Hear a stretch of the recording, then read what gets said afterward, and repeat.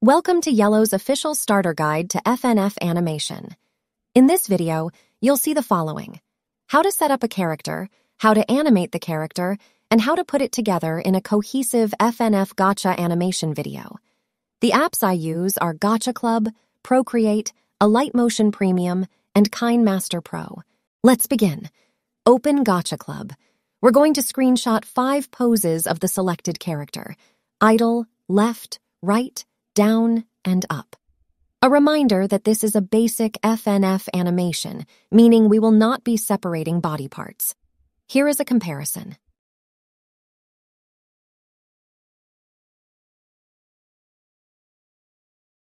Screenshot 5 poses. Try your best to make the character be tilting in the direction of the pose you're doing.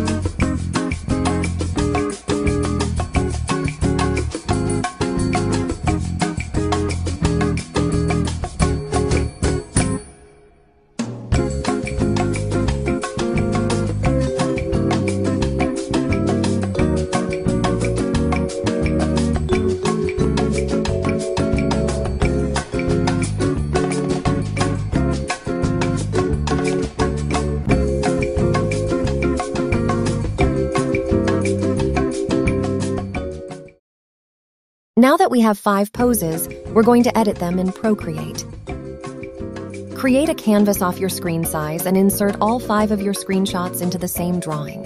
Don't worry about the black parts that may be on the outside. Now, we're going to crop the canvas to get rid of that extra black part. Be sure that the dimensions you set for length and width are equal to each other, as it is essential that the canvas is square. Make sure when you crop, none of the screenshots are getting cropped with it. It's time to get rid of the plain color background. Using your automatic selector tool, select any part of all five of your screenshots that is not a part of your character. Be sure to get every last bit.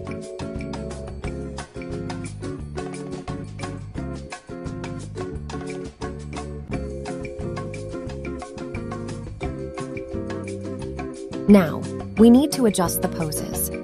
An important rule to keep in mind is that you should try not to move around the character's weight distribution that much.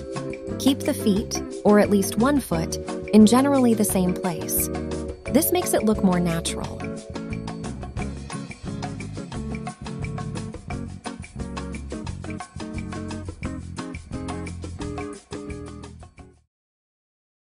We will now be animating the idle. Please follow closely. I will try to explain it with this AI, but you will need to follow along visually.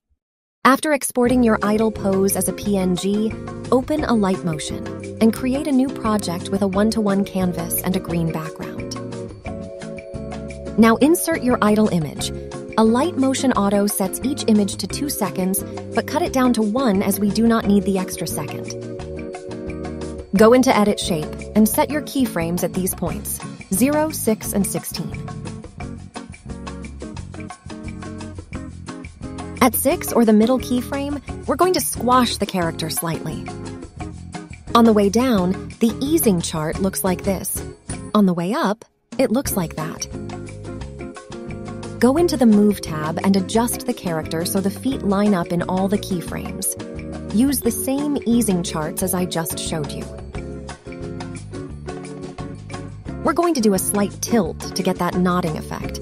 Adjust your pivot point to the character foot and rotate it very slightly, 1 to 2 degrees at most.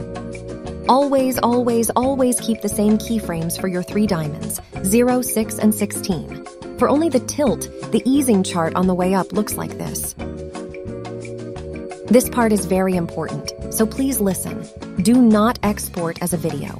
Instead, select the option Export Current Frame as PNG.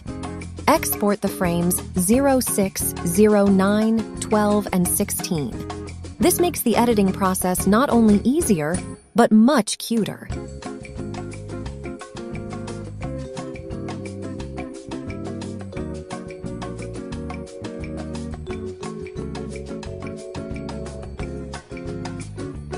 These concepts will reoccur throughout the animation process, and I will no longer explain them in detail to shorten the duration of the video. Screenshot this and keep it at hand as we continue. Now we will be animating the right pose. Export your PNG image of the right pose from Procreate. Open Alight Motion and insert your image into a different project than your idle. Then cut it down to one second. For the left and right poses, we're going to be tilting the character.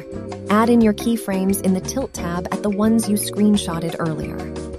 Once again, adjust your pivot point to the foot of the character, and at the 06 keyframe, rotate it to the right by 1, 3 degrees.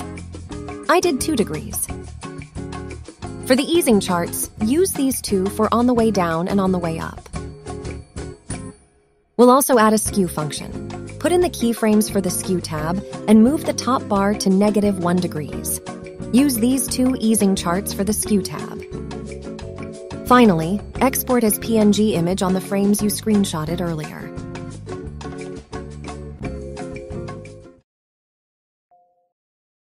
Let's animate the left pose. The process is extremely similar to the right pose. Do all of that stuff about inserting your image in Alight Motion and also set your pivot point. Now, instead of tilting to the right like you did for the last one, let's tilt towards the left. Again, tilt it from 1 to 3 degrees. I did 2 degrees. The charts are exactly the same for the tilt function in the right one. I'll still show them here for your convenience. Skew your character to the left this time by around 1 degree. Once again, the easing charts for the skew tab are the same as the right pose. Export those four frames again 06, 09, 12, and 16. Try to remember them. The up animation is similar to the idle, but you stretch it instead of squish it. I'll demonstrate what I mean. For now, export and insert your image and set your pivot point. Go into the Edit Shape tab again, and this time on the 06 keyframe, we're going to make the Y larger and make X smaller. Use the first set of easing charts for the Edit Shape tab. I'm still displaying them for you, don't worry. Like the idle, editing the shape displaces the character feet. Use the Move tab to make sure the feet stay on the same level. Use the easing charts I showed you a few seconds ago for the Move tab. This is optional, but for a cute effect, you can make the character tilt back very slightly for the up pose. Set your keyframes and rotate the middle one by only one degree backwards. Do not overdo it, or it will look like the left pose instead of an up pose. Now, just export your up pose exactly like how we've been doing it before.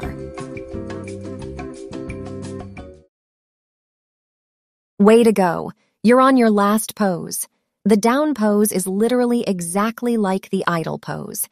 If you've been following the tutorial, you've gotten a pretty good idea of what to do. Just start by, you guessed it, input your character and set your pivot point. Just like the idle, plant your three keyframes in Edit Image and squash your character on the 06 keyframe. It should squash slightly more than the idle, but that doesn't matter too much. In the Move tab, line up the feet again.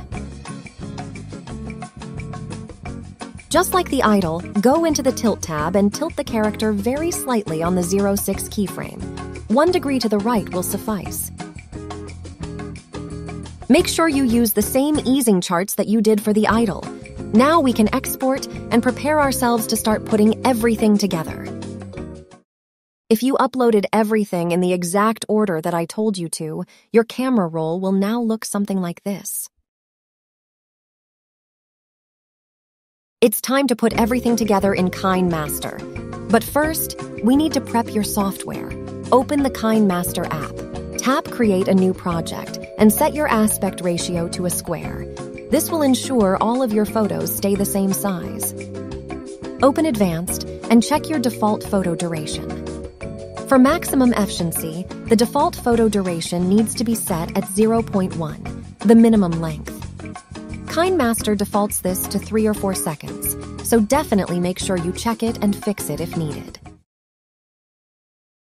Because we don't want to input the four idle pictures over and over again, we are going to make an idle video to make it easier for us to put everything together. By exporting everything in the order I told you to, KineMaster will naturally display your photos in a very organized manner. Scope out your idle and input the four pictures in order from right to left. This will depend on the beat of the song you're trying to match to. But for the song I'm using, you need two extra photos to stay approximately on the beat of the song. Export the video, but return back to the project and input the video you just exported back into the project a few times. Usually, I repeat it to get to around 3 seconds. Save the final video. Well done. You have now prepared your idle. Head back to the dashboard and make another project with the same things we set up in the idle project. This is the project where you will be putting everything together in Are you excited to see the results of your animation? Add in a video recording of the song you are taking the arrows from. Use the crop tool to crop the FNF video to only the arrows you will be using. For this, I will be following the arrows of Miku.